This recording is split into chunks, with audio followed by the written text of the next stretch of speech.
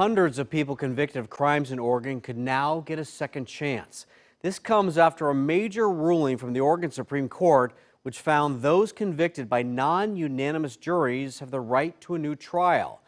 Our Joelle Jones has been following this story since last year. She joins us live with what this means for the courts, those serving time perhaps unjustly, and victims who may be traumatized again. Well, Dan, right now this ruling impacts nearly 300 cases, but that number is expected to rise as it only represents those who have already filed for an appeal and can prove their verdict was the result of a non unanimous jury decision. And while this ruling will undoubtedly place more pressure and strain on the courts, some argue that logistical nightmare is the price the state will have to pay to right this historic wrong. Yeah, it took too long. You damn right it did. But it's so amazing to be here now. It's been over a year since we first spoke with Terrence Hayes. Since then, he tells us his sentence and criminal record were vacated. Still, he says there are hundreds like him convicted by non unanimous jury decisions who now have hope for the first time. I know how they feel right now. I know the way that they're impacted by this decision, and I and I recognize that their families are excited. Their children who haven't seen them in 15, 20 years are excited. This is hopeful.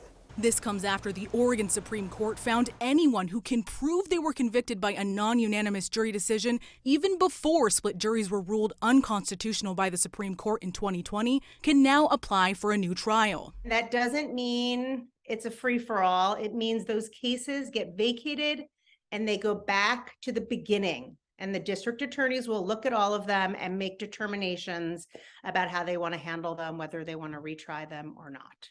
Aliza Kaplan has been on the front lines of this debate and first outlined how Oregon's non unanimous jury rule was based in discrimination. But some are worried about what the ruling will mean for the courts and victims. With the Oregon District Attorneys Association stating today many of these cases that will be forced to be retried are violent person crimes and will cause significant victim re traumatization. ODAA also recognizes that retrying decades old cases can be challenging, if not impossible. Violent offenders are the greatest beneficiaries of evidence that only degrades over time. This is bigger than any one case.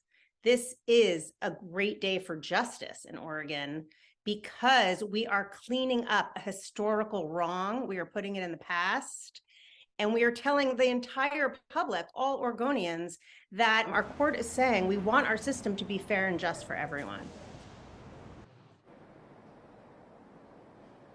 Now, I think it is worth noting that everyone we spoke to today, including the ODAA, Hayes, and Kaplan, all expressed concerns about what this will mean for victims, many who will be forced to testify again years after they were traumatized. So it will be interesting to see how this all plays out in the courts. But for now, we'll just have to sit back and watch. Reporting live in downtown Portland, I'm Joelle Jones, KOIN 6 News. And when the legislature was talking about doing what the courts have done, victim after victim pled with them, please don't do this. But now the Supreme Court has ruled it can happen. Joelle Jones, thank you.